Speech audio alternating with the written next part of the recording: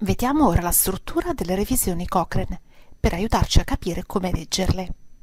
Le revisioni Cochrane hanno tutte la stessa struttura. Abstract è riassunto strutturato. Plain Language Summary invece è riassunto in forma discorsiva semplificata. Background fa l'introduzione al problema preso in considerazione. Objectives indica lo scopo della revisione. Methods si compone di più parti. Criteria for considering a study after review dichiara i tipi di studi presi in considerazione. Search Methods for Identification of Studies la descrizione del tipo di ricerca fatta.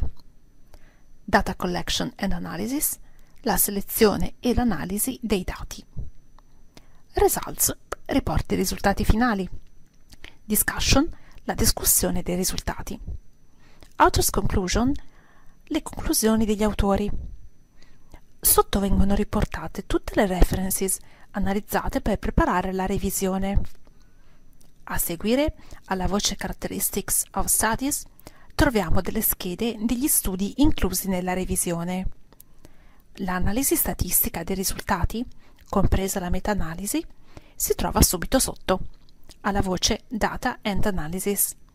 Qui troviamo anche i forest plot. Infine troviamo le appendici qualche informazione tecnica. Per qualsiasi dubbio o curiosità, visitate il sito della biblioteca. A presto!